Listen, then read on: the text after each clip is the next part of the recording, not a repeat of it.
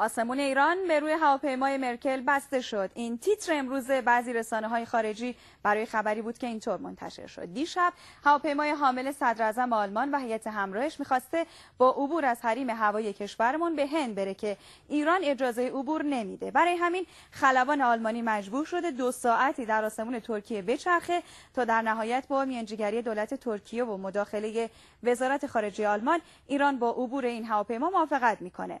این رسانه ها در خبرهای بعدیشون از احضار سفیر ایران در برلین به وزارت امور خارجه آلمان هم خبر دادن مرکل که در حال حاضر در دهلی نو به سر می‌بره در کنفرانس مطبوعاتیش از توضیح در این باره امتناع کرده با اینکه هنوز منابع داخلی ایران در این باره اظهار نظری نکردن اما بعضی کارشناسا اون رو با مان تراشی های آلمان در ندادن سوخت به هواپیماهای ایرانی در فرودگاه های آلمان مرتبط دونستند. سخنگوی وزارت امور خارجه ایران گفت وقفه در عبور هواپیمای صدر آلمان بر فراز آسمان ایران به دلیل مشکل فنی بوده است که بلافاصله راه و هواپیما به مسیر خود ادامه داد.